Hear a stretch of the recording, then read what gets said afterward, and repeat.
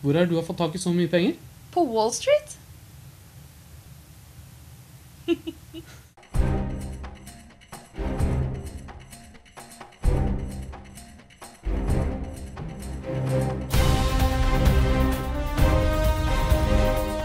Hei, jeg er Lina Molly.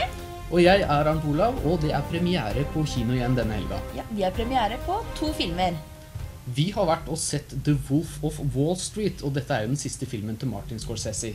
Eh, og dette her var kult, altså. Det var awesome! Det her er jo den sanne historien om Jordan Belford, som er aksjemegler i New York på Wall Street.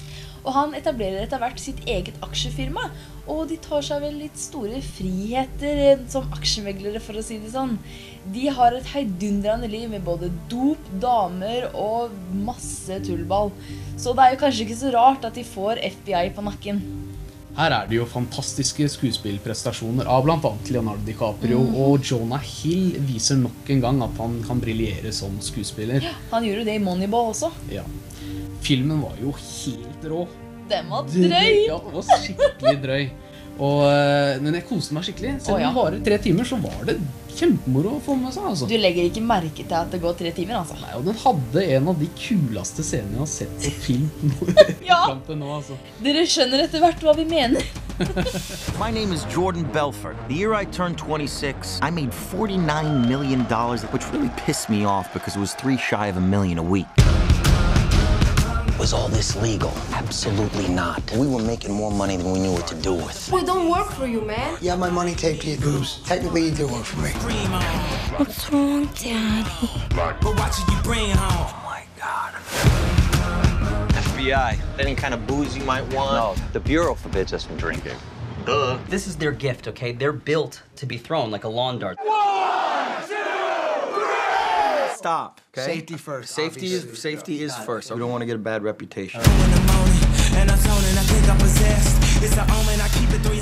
Vi har jo også sett 12 Years Slave. Yes, og dette handler om Solomon, som blir spilt av Chiwetel Ejiofor. Uh, han er både musiker i denne filmen og lever eh, lykkelig sammen med sin familie i, som en fri mann i nordstatene i Amerika. Han blir tilbudt en eh, spillejobb av to menn, så han drar til Washington DC. Men eh, da skjer det noe. Han blir faktisk kidnappa av disse to mennene og solgt som slave. Han blir solgt til eh, plantasjeeieren Ford, som blir spilt av Benedict Cumberbatch. Han er ganske snill i forhold til den neste slaveeieren han kommer bort der for, som er Epps, ja. tror jeg han het. Og han blir spilt av Michael Fassbender og gjør også en veldig bra rolle som en hardbarka, slem Det verste marerittet du kunne komme borti. Filmen er jo veldig fin, eh, men også veldig hardkost. Ja. Det, er, det er liksom vonde ting som skjer, og de, de sparer jo ikke på kruttet sånn sett til å vise disse, disse uhyggelige Ja. Den er grusom. Ja, den, den er det.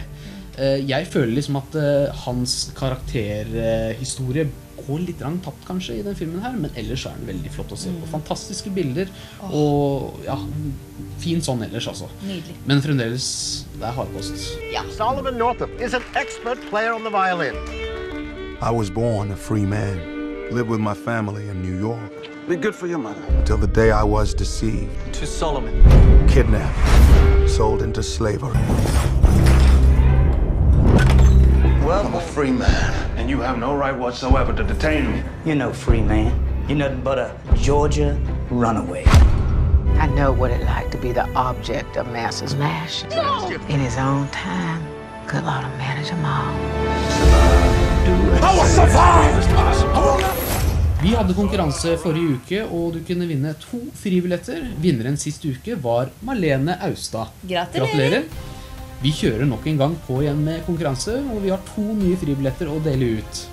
Det vi vil vite, er jo Leonardo DiCaprio er med i Wolf of Wall Street. Men i hvilken film sto han på en båt og sa det her? I'm the king of the world! Vi vil ha svar på tittelen på denne filmen. Svaret kan du sende til filmanmelderne at gmail.com og marker mail med konkurranse uke 5.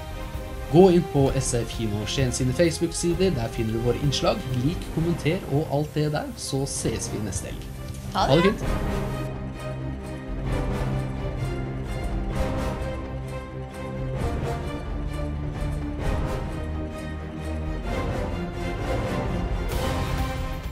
money, money, money, money, money, money, money. Woohoo!